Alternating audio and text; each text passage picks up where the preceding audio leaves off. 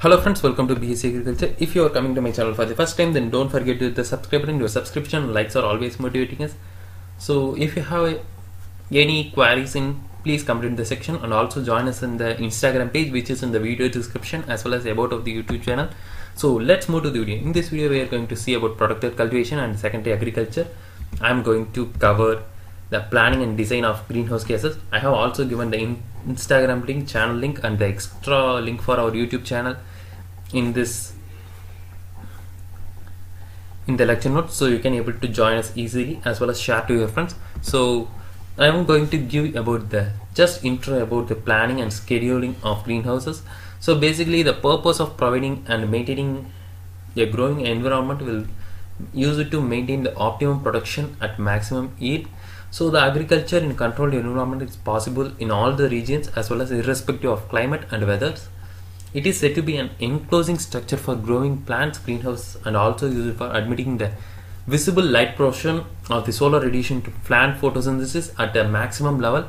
So and they can be mainly transparent. So it is said to be a must character of the enclosed structures at the same time, it used to protect the plants and the greenhouse must be ventilated and cooling during the day because of the heat load through the radiation from the sun must also need to be maintained. The structure must need to be heated as well as insulated during cold nights.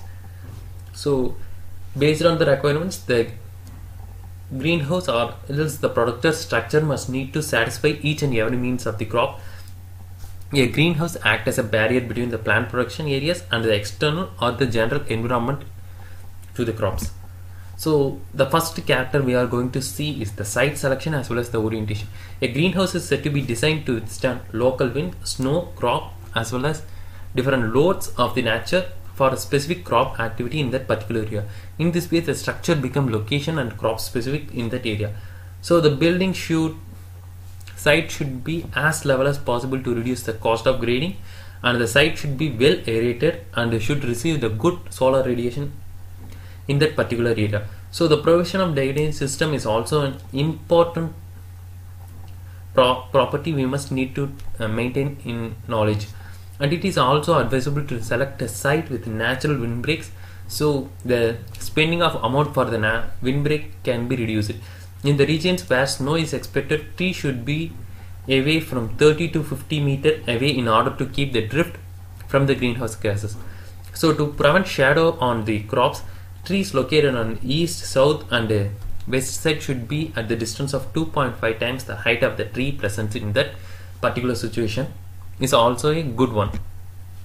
And while seeing the design and criteria for the greenhouse, for the location of greenhouse, a piece of land larger than the growing Im- immediate need should be taken and acquired in that area.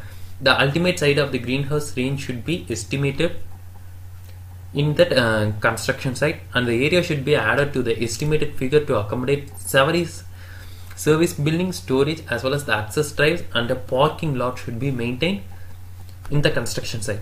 And the floor area should be building with a small frame of about 13% of the greenhouse floor area and it decreases with the increase in size of the farm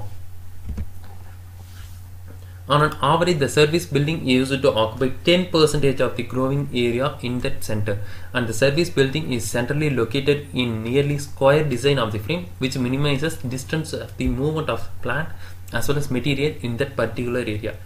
Doors between the service building as well as the greenhouse should be wide enough to facilitate full use of corridor widths, and the doors at least 3.1 meter width and 2.7 meter high are commonly known measurements for that particular greenhouse uh, or protected cultivation sites. It is good to have a greenhouse gutter at least 3.7 centimeter above the floor to accommodate automation as well as the thermal blanket and still leave the room for future innovations made in the protected structures. And after that we are going to see about the structure design. So one of the most important function of the greenhouse structures and its covering of the plant of the crop against hostile weather conditions. So where low and high temperatures, snow, hail, and uh, rain and wind, as well as the disease and natural pests, are said to be maintained as well as controlled in the structural designs. It is important to develop the greenhouse with the maximum intensity of light, natural light inside that protected structure, and the structural parts that can cast a shadow in the greenhouse should be minimized in that area so as well as the different structural designs of greenhouse based on the type of the frames are available in that structural design. And a straight wall uh, side wall and an arched roof is possibly the most common shape of greenhouse. Until now and the best of gable roof is also widely used in this one. And both the structure can be freestanding or the gutter connected with an arch roof of the greenhouse or protected structure. And the approach and the hoop style greenhouses are most often constructed of galvanized iron pipe if the tall growing crops are to be grown in the greenhouse or when benched or used it is used to a straight side wall as well as structure rather than hoop style houses. This ensures the best optional operational use of the greenhouse.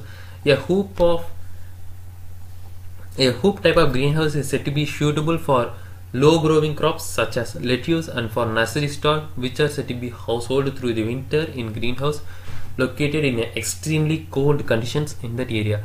A gothic arch frame structure can use it to divine design and to provide adequate side at the wall heights without the loss of strength to the structure is also need to be maintained.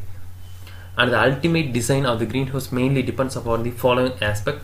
The overall structure design as well as the properties of individual structure components and the specific mechanical and physical properties which use it to determine the structural behavior of the covering material in the greenhouse and uh, the specific sensitivity of the crop to light and temperature is said to be grown inside the product protected structure or said to be maintained in the design. And the specific requirements relevant to the physical properties of the covering material are need to be maintained by the design. And the agronomic requirements of the crop must need to be given by the de design of the product structure in that area. And while seeing about the covering material the following factors are said to be considered while selecting the greenhouse covering material example light transmission weight resistant to impact as well as the durability to outdoor weathering and thermal stability over wide range of temperatures are need to be taken in selecting the covering material. For example, some of the different covering materials or glass and acrylic sheet used to comes for around 20 years which used to have a longer period than any other materials and polycarbonate and fiberglass. And uh, reinforced polyester sheet where it used to have a lifetime of 5 to 12 years and polyethylene 2 to 6 months and polyethylene stabilized for UVAs which used to be around 2 to 3 years. So these are the different lifetime of the covering material used in the product structures. And the ideal greenhouse selective covering material should have the also have the following properties. And the first one is used to transmit the visible light portion of the solar radiation which must be utilized in the photosynthesis and also it used to block the ultraviolet radiation as well as the harmful rays from the solar one. And it should observe the small amount of UV radiation and uh, which must need to also be converted to fluorescence into visible light which can be used by the flowers must also need to be the important character in the covering material. And it also observe as well as reflect the IR infrared radiation which are not useful to plants but also used to cause greenhouse interiors to overheat the situation. So it must need to be taken at the point. And uh, the cost of the greenhouse covering material must be minimum so it can be affordable for each and everyone. And the life should be up to 10 to 20 years.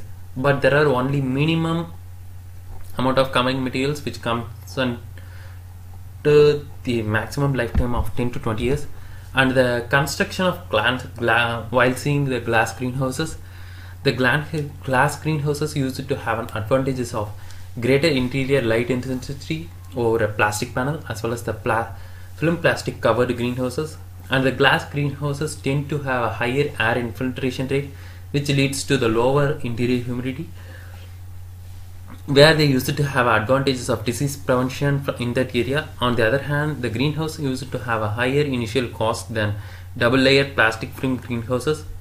While comparing the price of the greenhouse to a plastic film greenhouse one need to take into account that the initial purchase price as well as the cost of recovering of the particular film in the greenhouse must be taken up to a life period of 3 to 4 years and all metal greenhouses provides a cheaper to maintain and since they require no painting At present, virtually all greenhouse construction is of metal type, and the structural members of the glass greenhouses are said to use to have a cast shadow that reduce plant growth during the dark months of the year.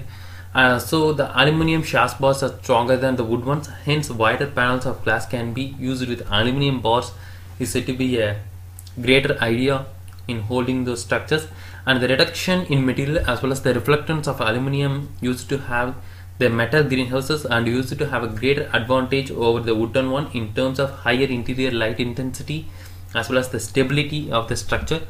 And uh, while seeing about the construction of pipe framed greenhouses the choice of construction of the pipe framed greenhouses often favors low initial investment and relatively long life than any others so while seeing the selection galvanized mild steel pipes as a structure member in association with the wide width UV stabilized low density polyethylene which is LDPE film is be common option of greenhouse designers used until now.